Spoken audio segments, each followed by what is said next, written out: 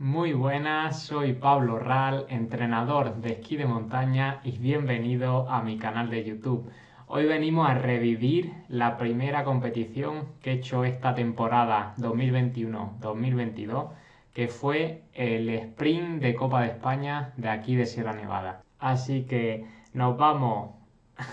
a la ronda clasificatoria en la que salí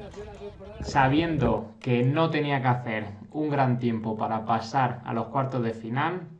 por lo tanto decidí hacerlo a una intensidad que ni mucho menos fuera volumen máximo oxígeno, que no gastara nada de esa capacidad anaeróbica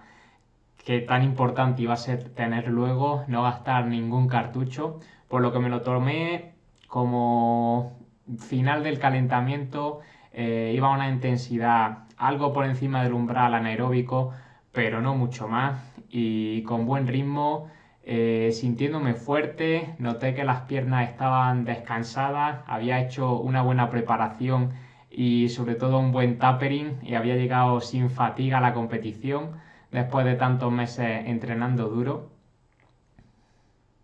Aprovechaba los tramos de más planitos para deslizar y así guardar energía y iba siendo lo más eficiente posible porque el objetivo de esta primera ronda no era más que cogerle la medida al circuito, hacer un tiempo medio decente, porque luego el tiempo de la clasificatoria es el que se tiene en cuenta para los cuartos de final, pero ni mucho menos mi objetivo era el de tener de los mejores tiempos en, en esta ronda clasificatoria. De hecho, si os fijáis, poco a poco por detrás me iban recortando los galgos que venían en persecución y es que además salí de lo último y por detrás tenía a Leix, a Pau Cole, a Oriol Cardona y, y, poco a poco me iban recortando y me iban cazando segundos. Además, durante esta ronda reflexioné con que iba muy bien en cuanto a respiración para estar a 2.300 metros y esto es gracias de nuevo a el haber enfocado muy bien los entrenamientos las semanas anteriores y concentrado en hacer buenos cambios y sobre todo en la bajada no tener ninguna caída. Me metí además detrás de Alex que me adelantó en el cambio y me iba él marcando la bajada por lo que iba viendo en todo momento si había alguna puerta algo más cerrada o cualquier impedimento y me vino muy bien para hacer la bajada muy seguro y tranquilo sin lugar a cometer fallo. Llegué a meta y conseguí en el ranking estar en el puesto 17 en cuanto a los tiempos de clasificatoria y esto me hizo que cayera en unos cuartos de final con tres personas con mejor tiempo del que había tenido yo en, esa ronda clasificatoria. Y como bien sabéis, en los cuartos de final solo pasan los dos primeros eh, y más con el tiempo que tenía yo en clasificatoria, tenía que asegurar era esa segunda plaza. Y no estaba nada fácil porque salía con Albert Pérez, Miguel Antón y John, que habían conseguido los tres mejor tiempo que yo. Por lo tanto, en mi ronda de cuartos salí liderando, quería coger la posición eh, desde el principio para no tener sorpresa y tomé los rombos por la derecha, iba marcando el ritmo junto con Albert Pérez, que iba por el lado contrario, íbamos los dos en paralelo, codo con codo, eh, controlando la carrera, ni mucho menos a tope, pero sí con un ritmo alto con el que ir pudiendo marcar diferencias y asegurar así esa primera o segunda posición. Al salir de los últimos rombos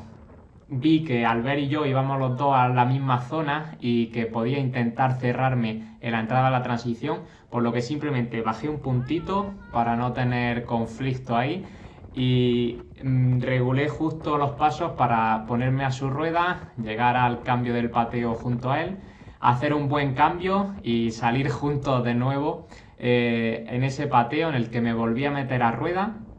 Él iba marcando el ritmo y yo sabía que no podía dejarme ir, tenía la segunda plaza, pero sabía que por detrás iba a apretar tanto Miguel Antón como yo, porque los dos querían estar en semifinales.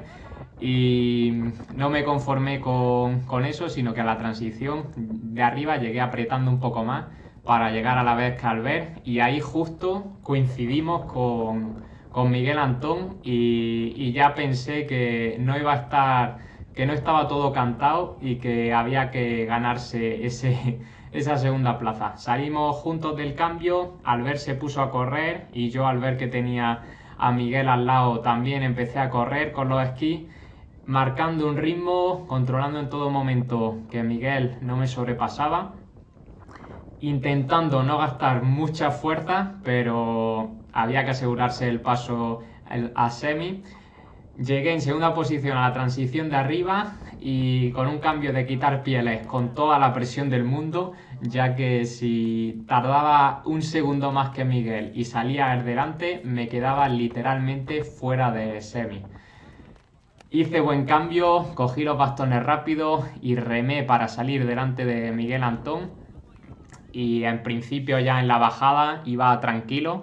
pero sin despistarme, yendo concentrado, porque cualquier fallo me podía dejar fuera. Al hacer el último tramo, esa curva 180 grados para entrar en patinador, vi que tenía cierto margen respecto a Miguel y pude entrar en meta relativamente tranquilo con ese pase a semiautomático y además Miguel consiguió ser el lucky loser y, fue de los mejores terceros, por lo que consiguió también pasar a, la ronda de semi. Estas semi tenían un nivel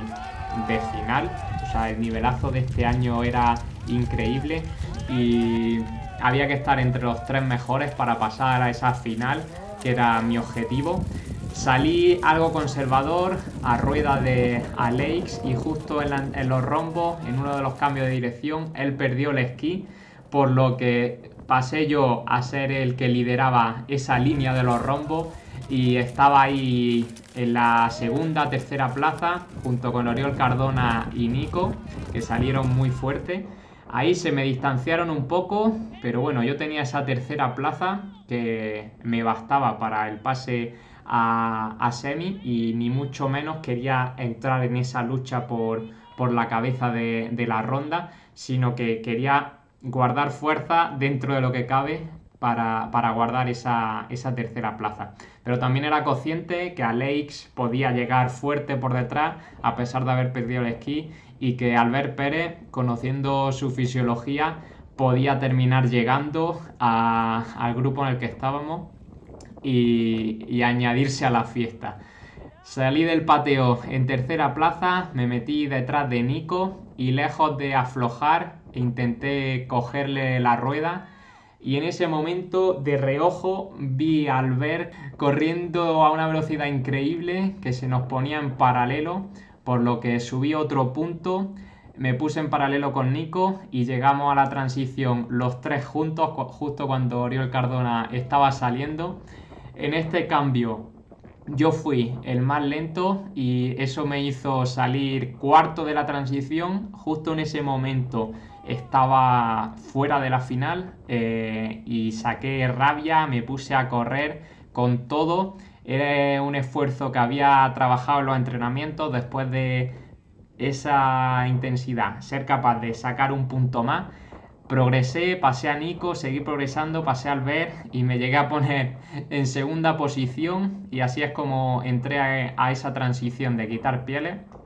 pero llegué muy muy cansado y no hice mi mejor cambio, por lo tanto al ver me, me, adelantó en el cambio y salió delante mía de la transición. Eso sí, conseguí salir tercero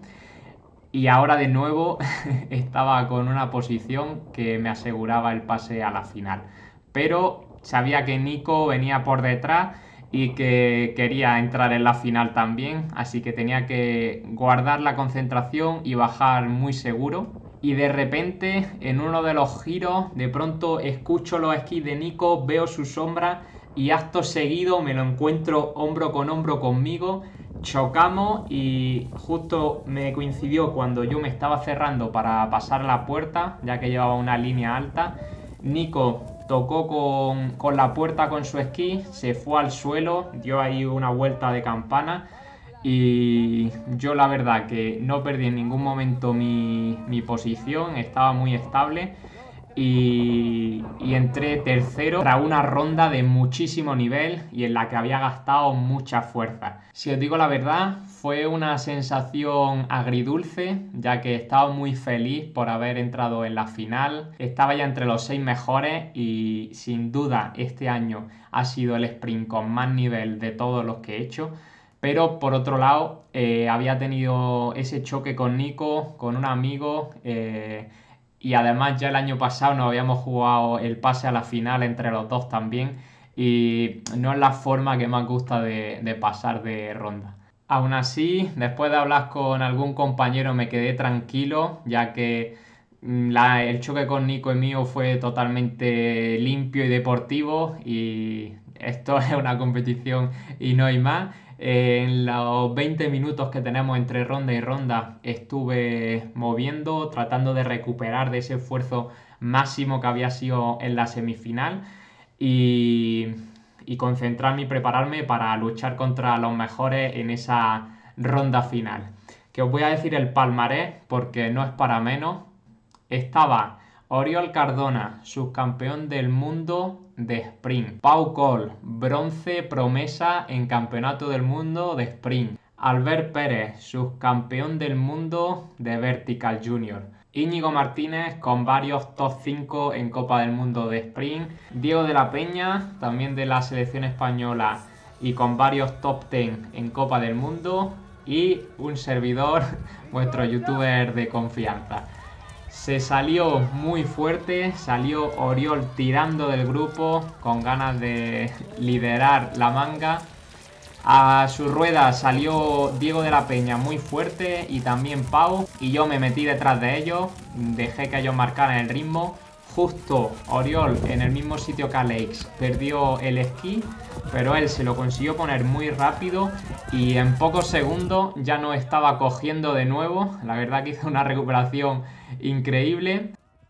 Por un momento estuve ahí en la tercera, cuarta posición junto a Íñigo y de repente Oriol nos pasó como un rayo, pero volvió a perder el esquí y seguía conservando yo esa cuarta plaza el podium se empezaba a escapar un poco.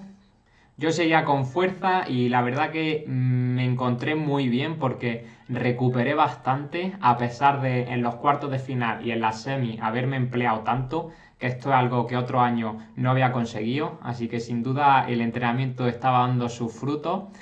En la transición no hice mi mejor cambio tampoco y ahí en el pateo de repente Oriol Cardona nos pasó volando. Eh, yo seguí luchando con todas mis fuerzas, estaba ahí ya quizás lejos del podio, pero la cuarta plaza sí que estaba para disputarla. Llegamos a la transición juntos, Diego, Albert y yo, y Uri estaba todavía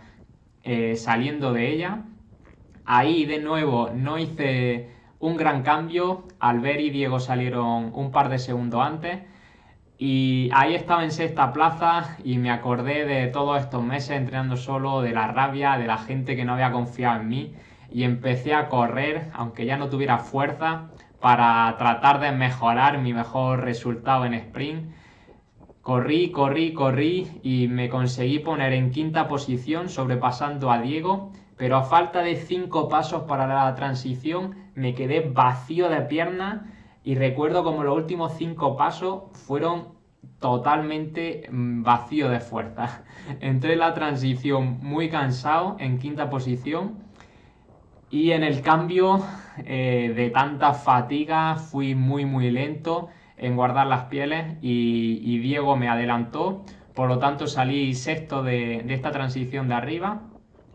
y ya era difícil eh, en la bajada, sobre todo con el cansancio que llevaba, ganar alguna plaza con la ventaja que me había sacado Diego. Así que bueno, la disfruté, bajé pegándola a las puertas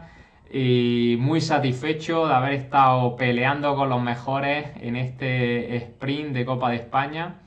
que además me da mucha ambición de cara a seguir entrenando duro para los próximos sprints que vienen este año.